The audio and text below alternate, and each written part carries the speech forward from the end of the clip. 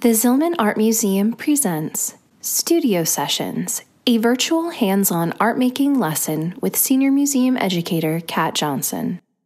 Hello and welcome. My name is Kat, and I'll be walking you through today's lesson of Studio Sessions Pop Art. Through this process, we will use everyday household items to create a unique piece of art. We will begin with a brief history on pop art and its components, go over the materials list then work through the lesson step by step together to create an original, pop inspired piece. Feel free to pause the video at any time to prepare your materials, set up your workstation, or stretch your legs. So, what do you say? Let's make some art. Pop art is a movement that emerged in the United Kingdom and United States in the mid to late 1950s. The term pop referred to commercial, mass circulation arts, including photo advertising, automobile styling, Hollywood films, and science fiction. Arts which had the same relation to painting, sculpture, theater, and literature that pop music had to the music of the concert hall. Work in this genre functions as fine art found in galleries or museums that make use of commercial art images, styles, or techniques. During the mid 20th century, both European as well as American artists shared the experience of American commercial culture through the newly universal explosion of mass media. The glamour and power of American society were realized in the commercial art and design that proclaimed the value in a pursuit of money and power. This subject matter was at the forefront of the pop art genre, which sought to incorporate the whole culture, the glamour, as well as the ghastliness, in art and to rely on the audience to act accordingly. The formal qualities in work created by pop artists shared several similarities utilization of centrality, repetition, sheer scale, and the use or imitation of ready made images were prevalent among the works. Techniques of mechanical production were also highlighted or reproduced, such as the degraded images produced by coarse screens of newspaper or the lines in a TV screen. This degradation of the image helped to make the detail insignificant, as seen in Lichtenstein's use of Ben-Day dots, Warhol's silkscreens, and Hamilton's photographs.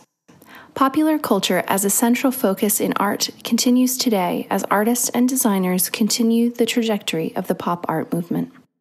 For this lesson, you will need a photo or image of a pop culture object. You can pull this from a magazine, print from an image online, or use the actual object as reference for your drawing. Pencil and eraser to create your preliminary drawing. Markers, crayons, or paint to color in your drawings. Tracing paper or a light source to reproduce your drawing. If you don't have tracing paper or a light table, Working with the drawing taped to a window works very well too. Several sheets of paper to create your drawings. Preferably one heavy sheet to use as the foundation of your work and thinner sheets for copying the image. Glue to secure your image to the foundation page. Take a moment to gather the items you need to join in on the art making. The first thing we need to do is make a drawing of our object. I chose a sneaker as my subject, as they are very popular right now in contemporary culture. This sneaker is incredibly expensive and highly sought after, so I think it's a perfect object to represent the current consumerism. You can use an image from a magazine or even draw from the actual object, the choice is up to you. I've already done a line drawing in pencil, but I need to ink it in with black ink, as this drawing will serve as the base for making several copies. As mentioned earlier, repetition is a key component of pop art, so we want to repeat our object over and over.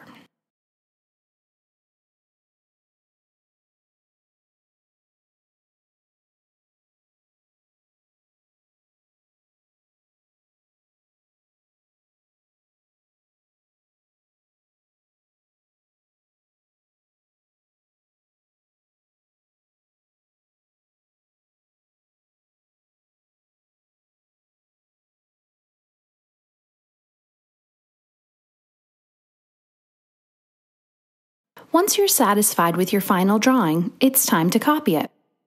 You can do this one of several ways. You can use tracing paper to copy the image. If you have a printer, you can copy your drawing and print it in multiples. Or if you only have paper, you can tape your drawing to a sunny window, place another blank sheet on top of it, and the light shining through will allow you to trace the lines. Whatever method you choose, be sure to copy the object at least four times. Here's my copied four objects. The next step is to cut each one out separately. I'll be leaving a small white border around my line work, but you can cut it out however you choose.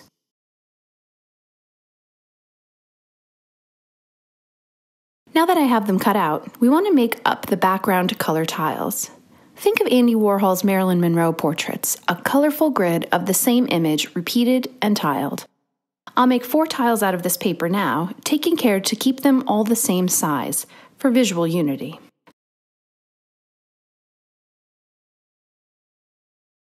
So again, these pieces of paper will be the background of each cut object, to be arranged like so.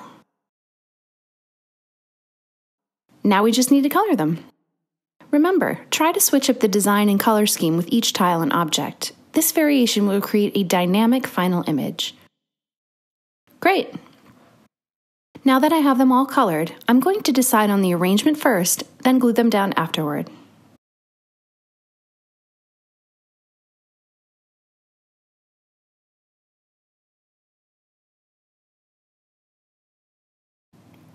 And there you have it, our pop artwork inspired by our pop culture object.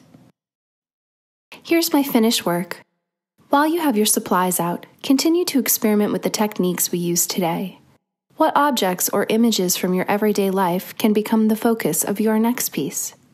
Take a closer look at the work of Andy Warhol, David Hockney, Roy Lichtenstein, and Richard Hamilton for research and inspiration, and enjoy the world of pop art. For more information on all of the educational offerings at ZAM, please visit our website, zam.umaine.edu.